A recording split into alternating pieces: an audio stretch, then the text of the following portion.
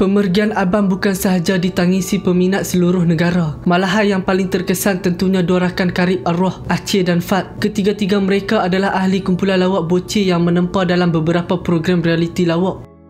Sungguh pemergiannya dirindui ramai. Sama-sama kita doakan agar beliau ditempatkan bersama orang-orang yang dikasihinya.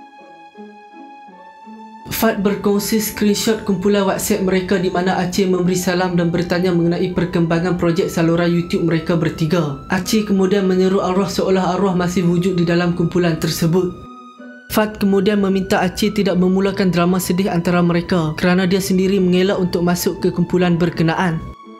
Aceh kemudian mengatakan mereka ditipu oleh Abam yang betul-betul tidur meninggalkan mereka berdua. Fat selepas itu menenangkan keadaan meminta mereka berdua bersama menjaga nama bocil yang menjadi satu-satunya peninggalan arwah.